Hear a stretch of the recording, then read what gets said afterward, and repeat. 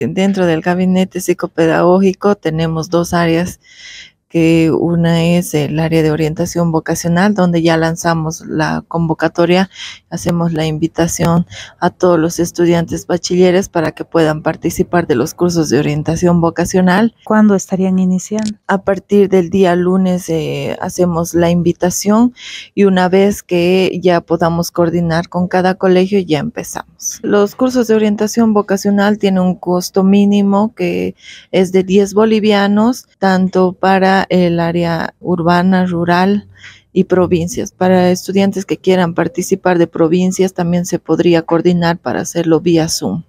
Por otra parte, tenemos el área 2, donde estamos trabajando con lo que es los cursos de inducción, las conferencias de inducción, que va para todos los estudiantes universitarios de primer año y sepan lo que es nuestra universidad.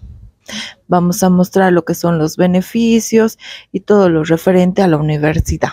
Estas conferencias va a ayudar al estudiante para que sepan eh, obtener las becas que tenemos, la beca comedor, eh, la guardería, becas trabajo y todos los beneficios que se brinda al estudiante universitario. Estamos realizando un cronograma con todas las facultades eh, que empezamos el día lunes 27 con la Facultad de Odontología eh, y es según a coordinar con las autoridades para que los profesionales puedan dar a conocer.